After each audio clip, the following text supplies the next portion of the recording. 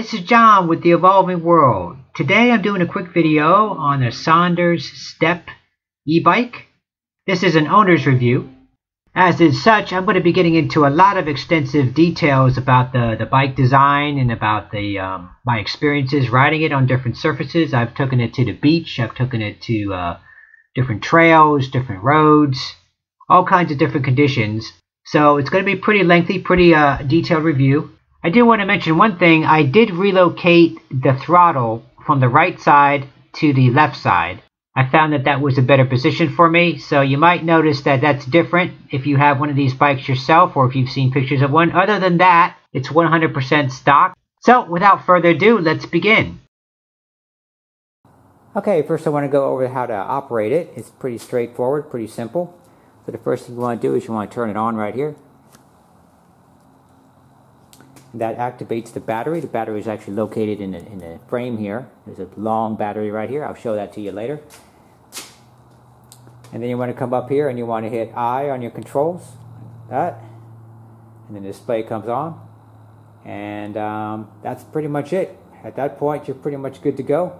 You automatically default to 2, and that's how much assist that you want, how much electric assist you want. And you can control that with the plus and the minus. So if you go down to zero, for example, that means that there's no assist whatsoever. So it's just a conventional bike at that point. The electric motor is not doing anything. The display is on, but there's no assist whatsoever. So if you hit the throttle, nothing happens. But as soon as you go up to one, anything above one, you hit the throttle and you'll, you'll you know, the bike will move. So it goes up from one, two, three, four, and five. And that, basically, that's just how much how much electric assist that you want. And um, on this side, we have the actual mechanical uh, shifting mechanism here. So it's just a it's a Shimano Revo Sport or Revo Shift seven speed. Sorry. so it um, works pretty good. Um, seven speeds. It's all mechanical, so it's like just a conventional bike. You just don't have those extra those extra cogs over here. Those have been eliminated, so you just have the seven speeds right here. One little tidbit of information that some people might find interesting is that although it does say Sondors on the display, and it does say Sondors down here on the hub motor, it's actually made by a company called Bafang. You can see right here. zoom into that if I can get to it. And they actually supply a lot of uh, powertrains for a lot of bikes. And in fact, if you wanted to, if you have a bike that you really like that you want to convert to electric, they actually sell a kit that has this hub motor and it has the exact same display. And that's how I found out about it actually, because I was looking into that at one point. And so like on Amazon or eBay, if you just if you just type in Bafang and then like uh, e-bike powertrain or, or something like that, you'll be able to find something that looks exactly like this. And that's that's exactly how I found out about it. So the only thing about doing that, it, it may seem like a good idea, but the only thing is, is that for 400 bucks, and then you have to factor in the labor of taking a bike and converting it over. So one thing I like about this bike is I like the design of it. I like how good it looks. I like how they integrated the battery pack into the frame. I think that's a really big plus. And it makes it look so nice and clean, like it like it looks like it's intended to.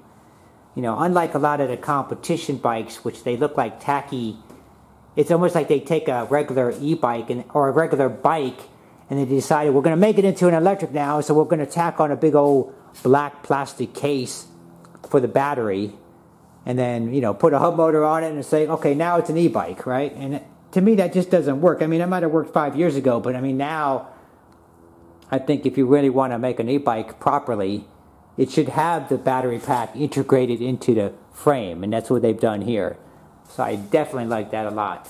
Another interesting design feature I like is right here, this horizontal member that goes across right here, whether it's there for structural reinforcement or if it's there to be used as a handle.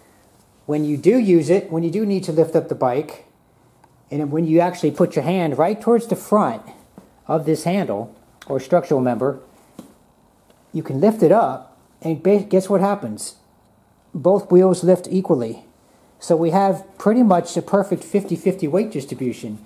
And so that's a nice little touch, I think. One thing I really like about this bike is how it's so comfortable to ride. It's, it's actually very fun to just get on it and go for a ride. Like there's no special preparation or anything. It's not like some skinny tire racing bike. You don't feel like you have to put on spandex and and uh, you know you're racing attire, your jerseys and all that stuff, which I've never been a big fan of. Um, you don't feel like I mean this is just not that kind of bike. Is this is like more of a comfortable kind of bike. You just get on it with regular clothes and just go out and ride it. And like it's ergonomically friendly. It's it's a comfortable riding bike, and it's just it's just fun. Like it's so like you know everything about it is more comfort oriented. Like so like the seat. I mean, there's probably no such thing as a comfortable bicycle seat, but this one seems to be more on that side at least, as far as they can go. And then the hand grips are comfortable and just like a nice shape, and they're just like you don't feel like I need to have riding gloves on or nothing. It just feels like you can just get on it and go. And like the way that the handlebars are spaced out, the distance, the whole riding position is in general is just more upright. And so it's just more comfortable to get in and ride. And these big fat tires do a really good job of absorbing bumps and everything. So along with the front shock absorbers, the comfortable grips, the comfortable seat, and the comfortable uh, back tire here. Now, there's no rear suspension, which would be an improvement if they had that, but I, I find that it's not too bad. Like, I don't miss it as much as I thought I would. So one thing about this bike that I really like, it's a plus and a minus at the same time, is that these, these 28 inch wheels, actually officially they're 27 and a half by 3 inch uh, wheel and tire, but the actual, I actually took a measuring tape to it. The actual uh, finish is actually from outside a tire to outside a tire is actually 28 inches, and then the actual width of it is actually 2.75 inches, so a little bit less than 3. And then as far as the uh, the tire depth, it's about two and a half inches from from top here to the to the metal rim. So however they come up with these numbers, I don't know. I mean, that's the nominal number, but that's the actual number right there. So it's about 28, 28 inches diameter. So the plus of that is it makes for a nice smooth ride. You can go over stuff. You can hit, you know, sticks and rocks and stuff, and it's like nothing's going to make you, uh, you know, nothing's going to stop the tire and, you know, turn you over or anything. It's like you don't have any, any chance of hitting even like a curb. I mean, you could probably hit a curb full on, and this wheel will just roll right over it because it's just so big. But the downside is, is that this thing's six foot one now, which is pretty long, and uh, it's pretty bulky, especially when it comes to transportation. So that's the downside, which I'm to show you that when we fold it a little bit later. So here's how to replace the battery pack if you should ever need to do so. Some people might be tempted to carry an extra pack along with you, and that might be helpful for certain occasions. But uh, anyway, it's not exactly super easy to do. So you take your, your key that comes with the bike, stick it in here, turn 180 degrees, and then out it slides. Okay, so here's the battery pack out of the bike. It actually weighs five pounds. I just weighed it almost exactly. And I just found out something interesting here while looking at this. Now, according to the website, it's supposed to have Panasonic cells and it's supposed to be a 10.4 amp hour capacity pack. But if you look at this a little closer, you can see that this is actually um, Samsung cells, and it's 10.5 amp hours. So, is that a concern? No, I would say not at all. Samsung cells, LG cells, and Panasonic, those are all top quality cells.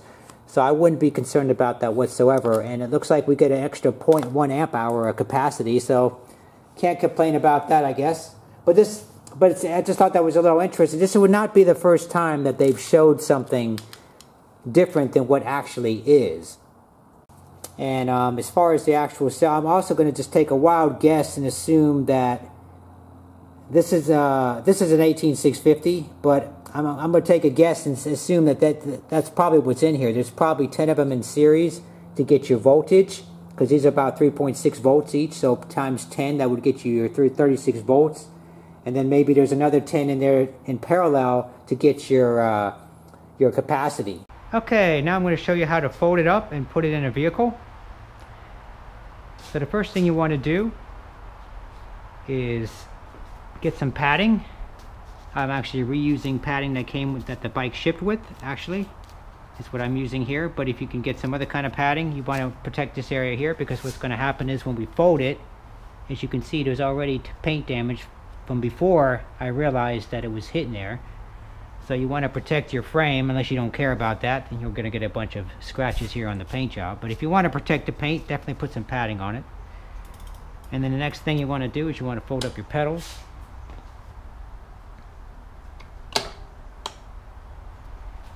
And the folding part is easy, but the uh, sticking it in a, in a car is a little bit more difficult. So you want to make sure that this is always going to get in the way. So you always have to be aware where this this, this thing's at. The the crank here and the uh, pedals are always seem to get in the way. So then the next thing you want to do is take that apart like that. And then there's some really good places to grab it. There's a place right here, another place right here. Seems to be the best place. You can just kind of grab it, kind of pivot with your body here and kind of maneuver it around, such and so. And there's a little stand on the bottom here for it to rest on. You can see that our contact padding is protecting that area. And so it has a little stand for it to rest on, so that's good. So once again, our pedal got in the way here.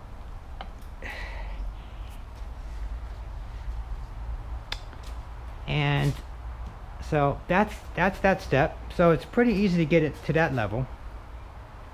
But now it gets a little tricky when you're putting it in a vehicle unless you have a really big vehicle. And that's the one thing I don't like about this bike that really stands out to me is I like the fact that it folds, but it doesn't fold enough. These big wheels and tires kind of keep the package pretty big here and the handlebars stick out enormously. So you got a three foot six wide, it's about four feet tall here, even when it's folded, so it's still pretty big package. It weighs about 55 pounds, as I mentioned before. Just not that heavy, but just the bulk of it. So what I find is that grabbing it, the lower section of the bike, because this thing is gonna, if you buy the upper section, it's gonna, you know, just come apart again. So you wanna buy, grab the lower part here, right about the forks or so. And then um, right here, the center section, is a good spot to grab it. And then you just pivot it up.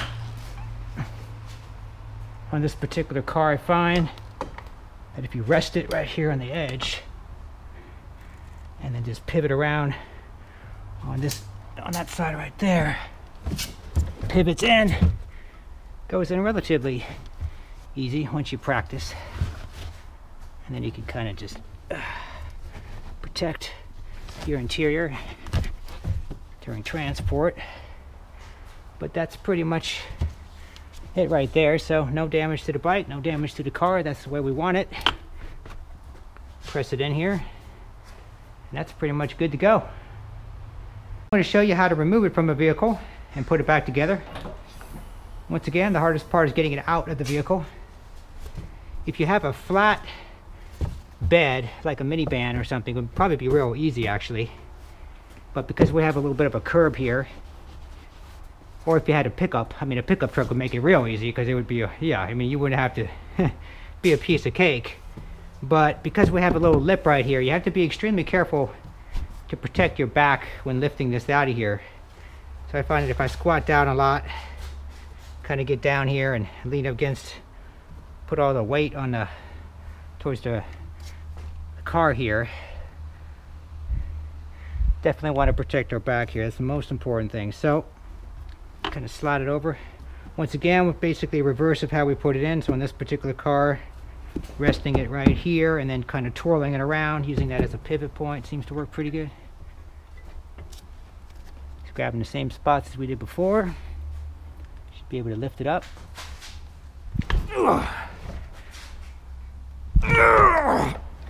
all right here we go And it kind of just pivots out like that. And there we go. Rest it down like so. All right. And then the rest is easy. All we have to do, once again, make sure that that pedal is out of the way. Always seems to get in the way. Make sure this latch is out of the way too. So we'll catch on that. And basically use the same grab spots as before. Bring it around. Slap it on there. And there you go. Ready to go.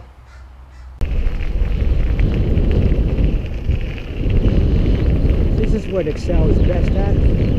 Hard pack kind of gravel road, gravel trails. It's a nice smooth ride.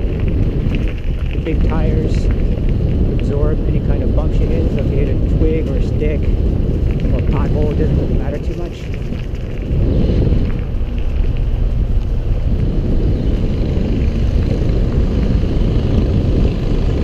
A lot of times I just ride at one. Just having a little bit of assist helps out a lot. This, this uh, one thing I do not like is this gauge right here. So I, I was 13.6 miles in, and it only dropped the bar, which is not proportional to the actual battery pack.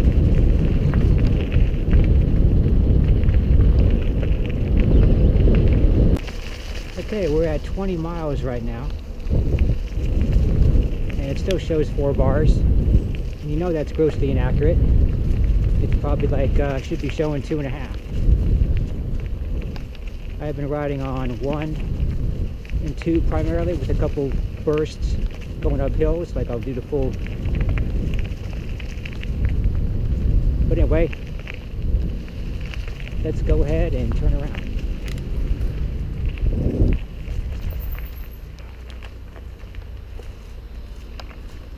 One of the nicest things about riding a bike is that you get to go places you can't go by by car. On a beautiful autumn day, nothing like a nice peaceful bike ride. Okay, so let's hope we can make it back. We're at 20.1, just turned around. About 20. Pretty effortlessly. On the train.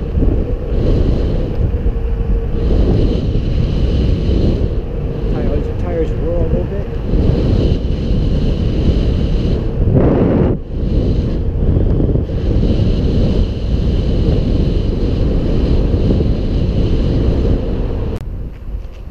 All right, going up another hill here. This is where you can either give a little bit more power to it, kind of adjust it to your taste, or you just say to hell with it and just hit the throttle.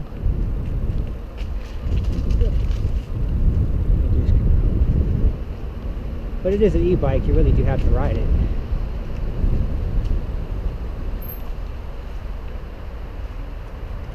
It's nice though going around those corners like that, you just keep the momentum going. But it is a bike, I'm actually on speed one, so I'm at the lowest gear, so it's a pretty steep hill we're going up here. This is where it really is nice having an e-bike.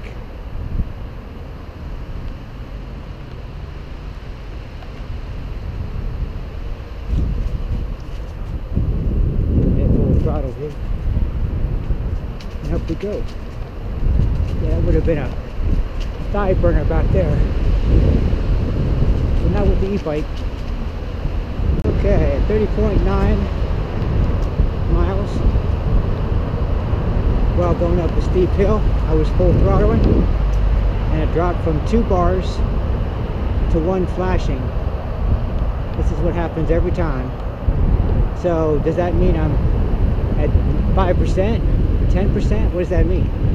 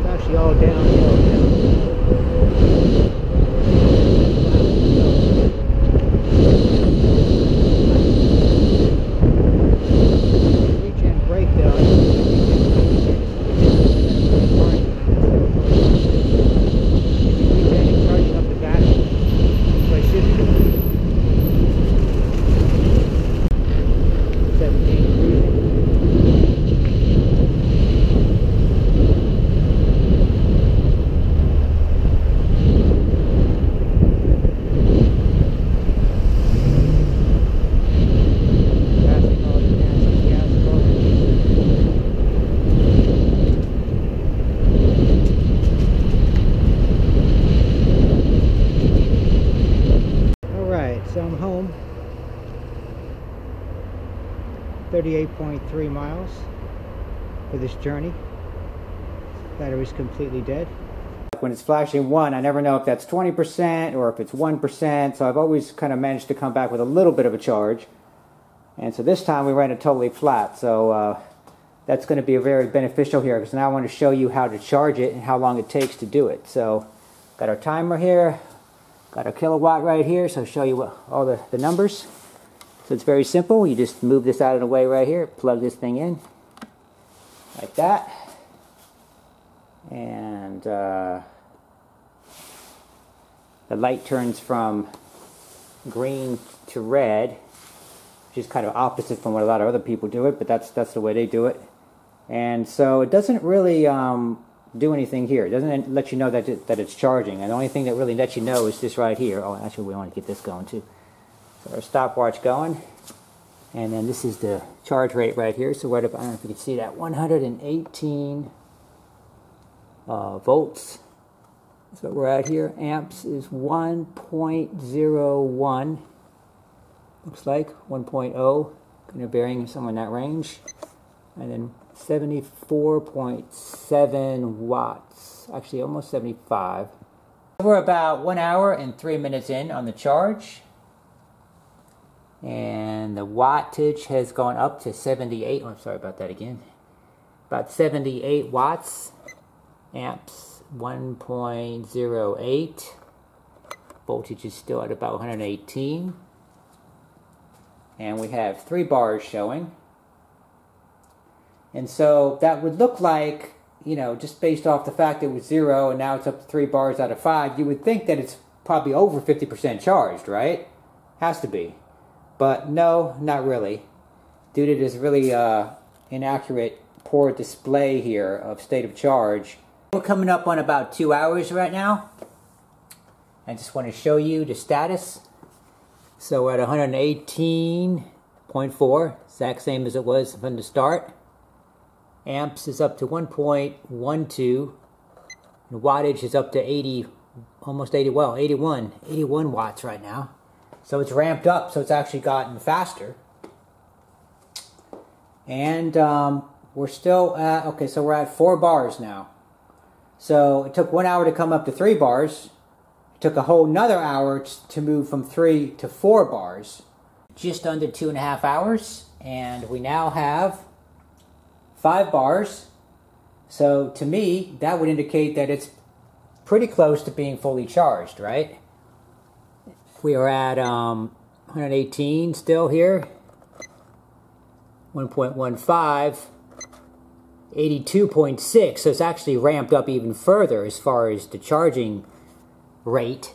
It's actually charging faster, so it's not tapering off, it's actually charging faster now. So that's a little bit of a hint of what's really happening here. We're just over four hours now. Still at five bars, of course. Let's see how our voltage is doing here. So we're at 118.1, back up. Amp is 1.14. The watt is 81. So it's still, or 82, 82 I guess. So it's still charging rapidly. Five hours. It's continuing to taper down, but we still have a little ways to go.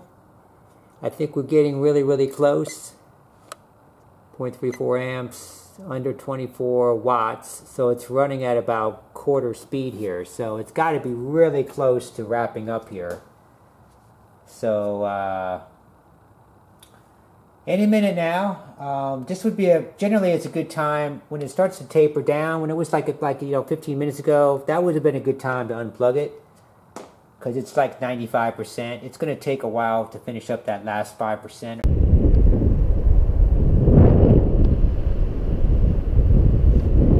All right, so how does it do on the beach? I've already been riding a little bit, so I can tell you. It's actually quite fun. What's nice about it is you get to go places you can't walk to. I mean, you could drive a car, but that's no fun. That's too easy. So you may be asking, well, why even bother to ride it on the beach, especially on a 55 degree day.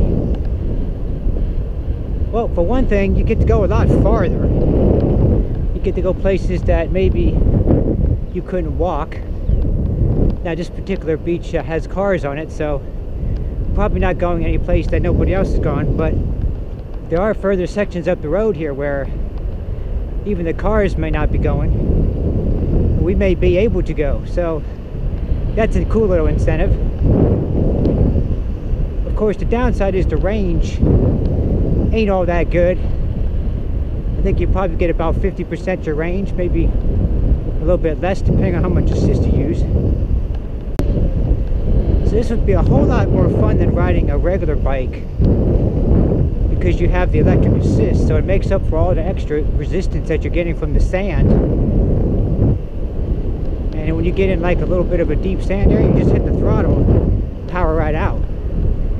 So it's not even a problem. So you never really get stuck. The only thing you gotta watch out for is like seashells and stuff like that. Might be kind of a little sharp. Like that right there. On the hardback areas, you can go almost as fast as driving on gravel.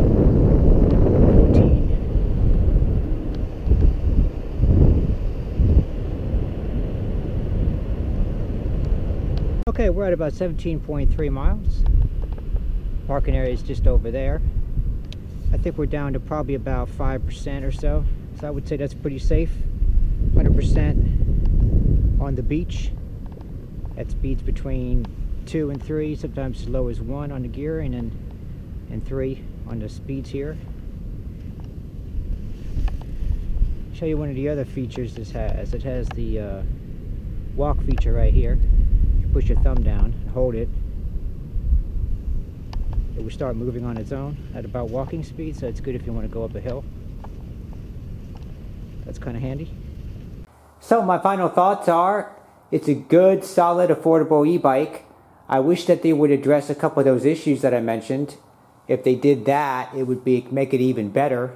But even considering those those flaws, I still think for $975, you're not going to find much out there that's a whole lot better. I mean, you might be able to find some cheaper stuff that's going to be, you know, less. And you can definitely spend three grand or four grand, and you might get a significantly lighter bike which would be nice, but you know, you're going to pay for it, you know, in, in the cost.